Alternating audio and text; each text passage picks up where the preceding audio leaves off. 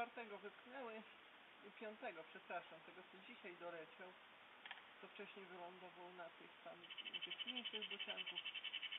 Ale przyszedłem patrzeć, czy, czy, czy nie nadział, czy co się tu stało. Ale nic mu nie jest, chodzi po wybiegu, więc no dobrze.